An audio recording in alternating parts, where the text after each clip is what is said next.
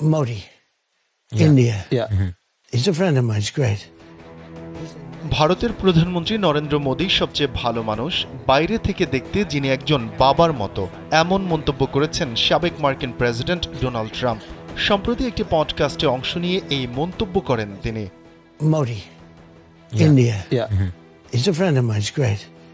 He's the nicest. India. Yeah. Just for you. Oh, good. Well, I'll tell you. Do you like him or not? Yeah, yeah. Stand up comedian সলচের উপস্থাপনায় ওই podcast অনুষ্ঠানে Donald Trump আরও বলেন মোদি একজন মহান মানুষ তিনি আমার একজন ভালো বন্ধু বাইরে থেকে দেখতে যিনি একজন বাবার মতো মূলত তিনি সবচেয়ে ভালো একজন মানুষ সর্বোচ্চ বিদ্যুৎ সাশ্রয় যমুনা এসি মাত্র চব্বিশ টাকায় এসি চলবে সারাদিন। যমুনা এসি। পডকাস্টে ট্রাম্প জানান তিনি যুক্তরাষ্ট্রের প্রেসিডেন্ট থাকাকালে কেউ ভারতকে হুমকি দিচ্ছিল। তিনি তখন মোদীকে বলেছিলেন আমাকে সাহায্য করতে দিন কারণ আমি এই ধরনের মানুষের বিষয়ে খুব ভালো অভিজ্ঞ.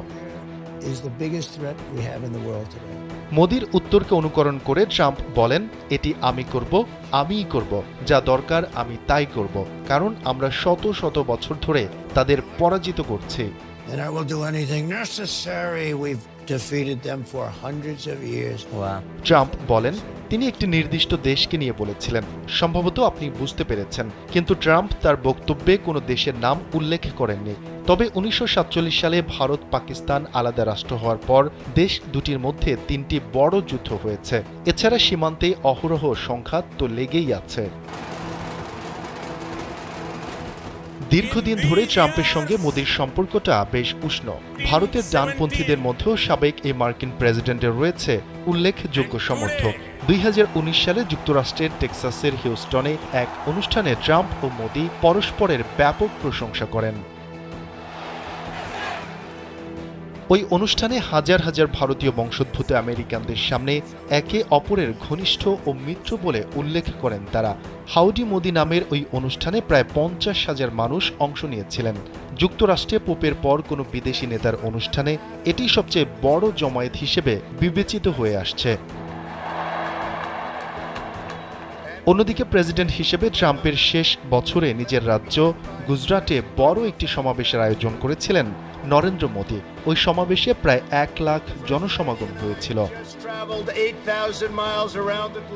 Shafiqul Islam Shanto, Kalbela desk. America respects India.